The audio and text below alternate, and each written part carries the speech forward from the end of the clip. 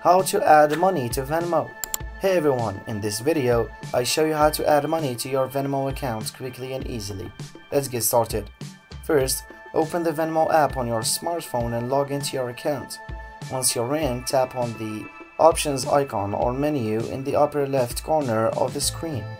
Next, select Manage Balance from the menu and here you'll see your current balance and an option to add funds. So tap on Add Funds to proceed. Now, you can choose how much money you want to add to your Venmo account so you can enter any amount you like, keeping in mind that the minimum you can add is $10. After that, select the payment method. So you can click on a bank account or use your debit card. If you haven't linked a bank account yet, You'll need to do that first, so just follow the prompts to add your bank details securely. Once you've selected your payment method and confirmed the amount, tap on Add to complete the transaction. The funds should appear in your Venmo balance shortly. And that's it. Now you know how to add money to your Venmo account, so if this video is helpful, please give it a thumbs up and subscribe for more tips. Thanks for watching.